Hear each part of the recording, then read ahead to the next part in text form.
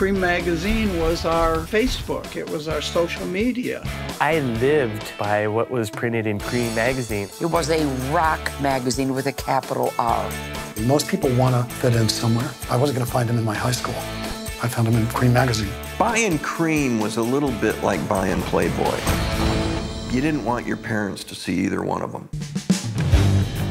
None of them had any business running, editing, or writing for a rock magazine. We're going to introduce everybody. Hi, hi. What's happening? What, what, are you doing here? I sell dope downstairs. Oh, Barry always had an explosive temper. You got a newspaper to get out?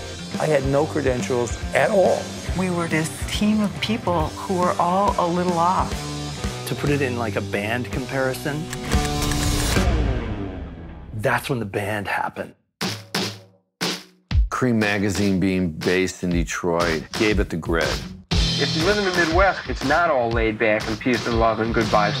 In 1971, the Rolling Stone party line was that the next big thing was James Taylor. Many teenagers went to Creem to learn about noisier stuff.